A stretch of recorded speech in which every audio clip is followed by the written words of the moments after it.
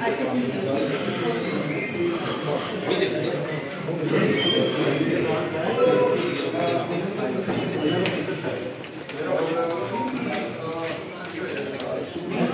محمد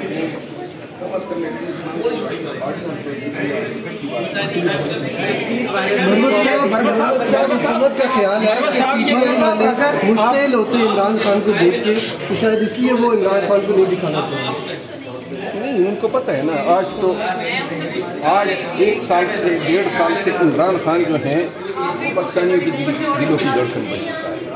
ان کو علم ہے کہ ایک شخص یہ جیل میں تعلیم کیوں کرا رہے ہیں۔ لوگوں کے کیمرے اور موبائل لے جانے پہ کیوں پابندی ہے؟ کیمرے سے خان کو کیوں دور رکھا جا رہا ہے؟ الیکٹرانک میڈیا میں کیوں ان پہ پابندی ہے؟ کیونکہ ایک واحد خان کی ذات ہے جس سے یہ پورا نظام دین جو ہے ڈر رہا ہے۔ خان صاحب اچھا سر نے ضرورت نہیں کی آپ نے کہا نا کہ یہ ضرورت نہیں کی دکھانے کی یہ تو بینچ کا فیصلہ ہے انہوں نے لائیو نہیں دکھایا۔ نہیں نہیں۔ یہ بینچ کا فیصلہ تو خان کو ویڈیو لنک پہ لینا۔ اور جو دکھانے کا عمل تھا اس کو تو ریگولیٹ کیا گورن کیا پولیس نے یا حکومت نے۔ انہوں نے مطلب یہ ہے بینچ نے یہ تو نہیں کہا شاید یہ سوال آج اٹھا بھی نہیں کہ خان کو نہیں دکھایا جا رہا ہے ویسے اٹھانا چاہیے تھا۔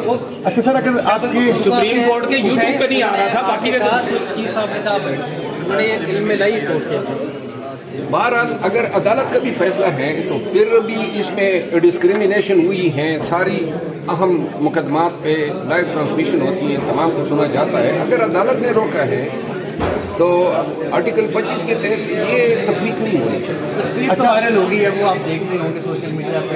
تو لوگوں نے دیکھ تو لیا کیا کہیں گے؟ خان خود پوری دنیا میں وائرل ہو چکا ہے۔ لہٰذا تصویر لوگوں نے دیکھ لی کافی ہے۔ تو خان کا انتظار کس کس کو ہے کے اندر سے آپ کہہ رہے ہیں؟ آپ بہتر ہو گیا خان سے ڈر رہا ہے۔ ہاں سب اتنے خوفناک اور اتنے اسٹیٹ کے اگینسٹ ہیں اور حکومت کے خلاف ہی ان سے سب گھبرا رہے ہیں۔ خان کے بیانات آپ لوگ دیکھتے ہیں۔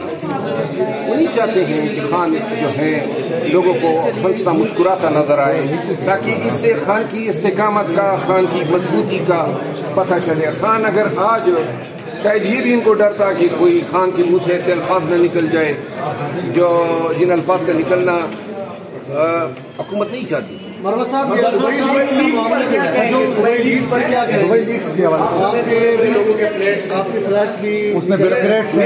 نہیں ہیں میرا فلیٹ ہے۔ ایک فلیٹ ہے سنگل فلیٹ ہے اور وہ میں نے جب خریدا تو اسی وقت صاحب خان صاحب سے کون ڈرتے ہیں؟ ہاں؟ خان صاحب سے کون ڈرتے ہیں؟ ہم لوگ خان صاحب سے ڈرتے ہیں کون آپ نے کہا خان صاحب سے ڈرتے ہیں کون ڈرتا ہے؟ آپ سوال یہ لے تاکہ ہم کوئی آپ کو رائے دے سکے کوئی انفارمیشن دے سکے پوری پاکستان کو پتہ ہے کون ڈرتا ہے جھگڑا کس سے ہے اور کس کے ساتھ ہے یہ کون ڈرتا ہے؟ آپ کو علم نہیں ہے سوال اس اچھا سر ہم کچھ انفارمیشن یہ دینا چاہیں گے۔